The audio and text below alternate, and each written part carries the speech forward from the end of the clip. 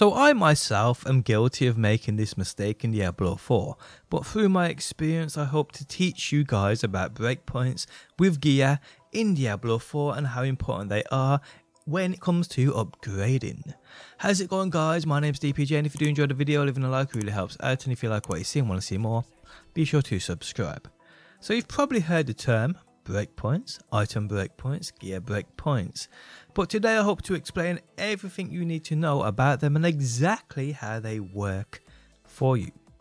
Okay, so every piece of gear in this game has a power range. You can see said power range of gear under its item name. Now there are 6 breakpoint tiers. These are tied to power ranges on that gear. And those you can see on the screen now. Breakpoint Tier 1 is gear with a power range between 1 and 149. Breakpoint Tier 2 is between 150 and 339. Breakpoint Tier 3 is 340 to 459. Breakpoint Tier 4 is 460 to 624.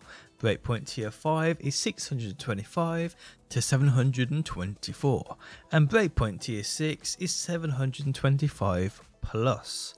So these are the gear breakpoints, but what's the point of this information?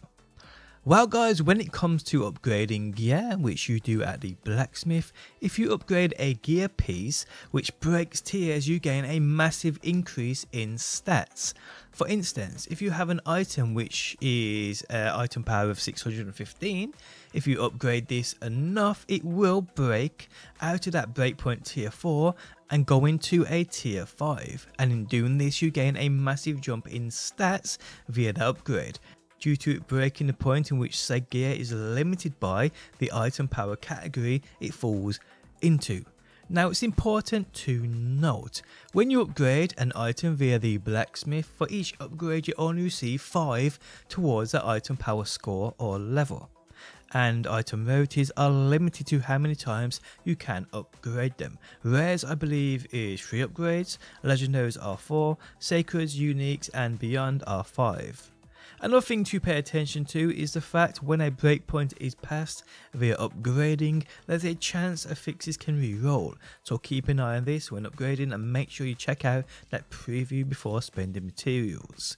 Now the mistakes not to make is wasting materials on items that won't break tiers or upgrading to a point and not paying attention and actually downgrading affix which helps your build in a certain way. Breakpoints will make a big difference in regards to your build if you look out for gear leaning towards the top end of them.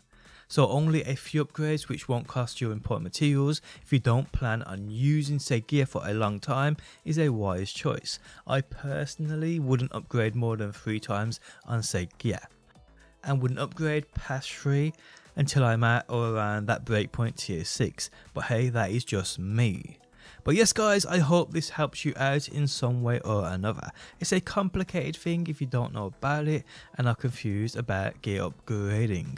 But yes, these are basically breakpoint tiers, how they work on gear, the benefits and drawbacks to them. Guys, if you enjoyed the video, leaving a like really helps out. If you like what you see and want to see more, be sure to subscribe and hopefully guys, I will see you on that next one.